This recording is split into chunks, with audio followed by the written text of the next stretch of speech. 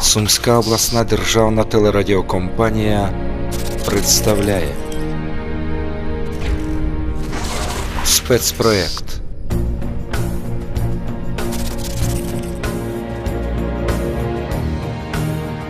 Дорога на схід.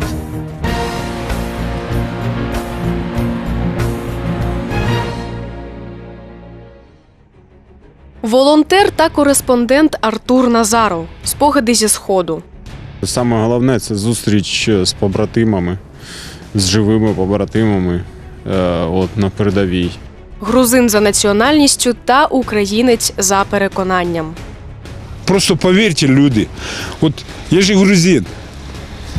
Ну я живу тут, а поважаю цю країну. Люблю цю країну. Він був на передовій, фільмував Донецький аеропорт, бачив смерть і ворога в обличчя. Знайомтесь, Артур Назаров, військовий кореспондент і просто сміливий хлопець. Його об'єктив не лише фіксує будні українських військових. У зоні АТО ще якби з- з волонтерами, допомагаю, е, переписую ну, у своїх побратимів з тими, з ким уже знайомий. е, В них дізнаюсь, що їм не вистачає, і намагаюся це дістати. Саме головне це зустріч з побратимами, з живими побратимами е, от, на передовій. Це радість від того, е, що вони отримають е, якби, подаруночки від дітей. Е, Ми е, минулого разу привозили карту, яку зробили у школі.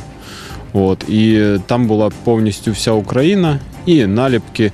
Кожна дитинка робила наліпку. Це фотографії, зроблені Артуром під час однієї з осінніх поїздок на окуповані території. Та не лише такі миті є у його архіві. За словами хлопця, ці фотокартки зроблені саме під час одного з так званих перемир'їв. Я був на лінії фронту під час оголошення і першого, і другого перемир'я. І в мене зафіксовано на е, фотографії є е, якраз режим порушення перемир'я, і е, це якраз був заборонений снаряд, це якраз була фосфорна бомба. Тобто вона зривається зверху, потім падають білі такі. Е, палаючі шматки, і вони палять все. Ну так вони у нас спалили один джип і одну швидку е, допомогу. Одним із найяскравіших спогадів хлопець вважає весілля двох бійців. Прямо на лінії вогню е, під обстрілами, коли е, батюшка е, освячує двох молодих. Ну, я думаю, що це саме цікаве. Це двоє бійців Карпатської Січі, Лера і Бізон. Тобто вони познайомилися ще на Майдані, а ну, якби созріли от, вже на війні. І на війні е, вирішили е, себе поєднати е, так от узами брака.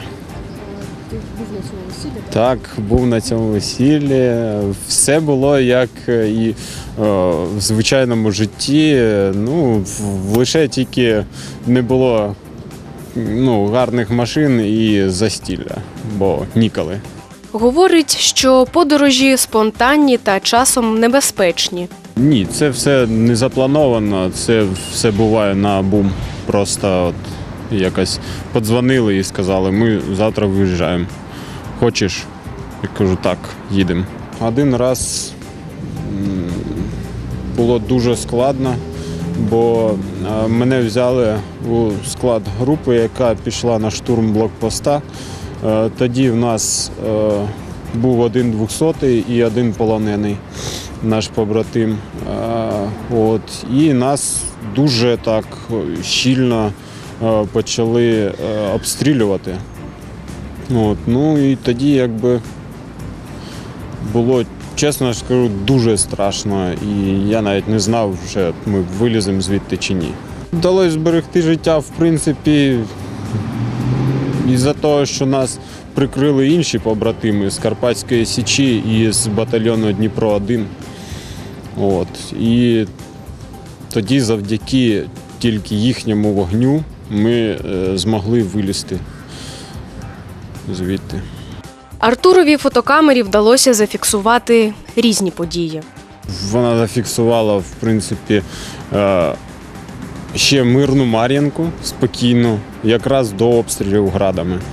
Е, Тобто я, чесно кажучи, був дуже вражений, ну страшно вражений, е, коли місто таке, ну, в принципі, як Суми, е, там люди живуть спокійно, ходять, е, спокійно прибиральники прибирають сміття, і вже через день їх накрили градами. Це добре, що не постраждало мирне населення. Ну і в принципі військових там ніхто не постраждав, там трохи було осколочних поранень, але ну суть в тому, що місто не евакуйоване взагалі. Тобто, ну, якщо в пісках, е, то це живе там ну, буквально дві чи три сім'ї, я точно не пам'ятаю зараз. Е, тоді, коли я був, було три сім'ї. От, то в Мар'їнці там дуже там сотні, там тисячі людей, які досі живуть. Та зізнається, до сходу вже звик. Все, що я хотів, я вже давно побачив. Е, Просто я, я тепер став якби очима е, людей. В мене дуже багато підписників у Фейсбуку, ВКонтакті, які е, весь час читають весь час просять, щоб я освітлював події, які відбуваються саме там. Вони знають, що я е, пишу без цензури, і в мене якби вся інформація, яка 100% перевірена.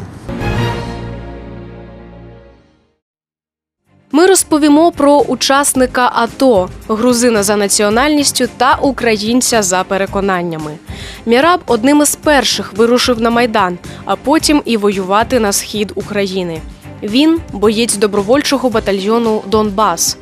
У свої 54 роки не міг залишатися вдома у скрутний для всієї України час, адже його сім'я та близькі живуть тут. Просто поверьте, люди. От я же грузин. Ну я живу тут, а поважаю цю країну. Люблю цю країну. Він пройшов найгарячішу точку АТО Іловайський котел. Про те, що там відбувалося, говорить мало, бо для нього це жива рана. Там він втратив багатьох побратимів. Когда Леня погиб, возле него вот поруч стоял, и они, когда оборонялись там и воевали, він живий. Він вижив, да? Да, він вижив. В Херсоні він живе. Він вижив. Є ще другі люди, які ну, трохи там були. Ми зберемося обов'язково. У Чернівці Міраб Консалідзе приїхав шанувати пам'ять побратима, бійця батальйону Донбас Леоніда Петихачного, якому з Іловайського котла вибратися живим не судилося. Бог нас вел. Вот когда мы познакомились, вот э, просто поговорили, понимаете, вот я всю свое життя, вот э, всегда, знаете, вот так говорю, что я пожизненно воин, потому что мои предки были воинами. А, а вот э, дуже редко бывает, чтобы я сильно вот так подружился с кем-нибудь. А когда мы с Леней познакомились, ну, ну, я в Лене увидел такого человека, понимаете, справедливого. Каже, згодом обов'язково повернеться на передову, бо для нього війна ще не закінчилась. Сподівається, що подвиг його побратимів не буде забутим. Если бы не эти добровольцы и не такие люди, как Леня, их бы не остановил. Мы это сделали, я это смело могу сказать. Это сделал Леня. Это сделали наши братья,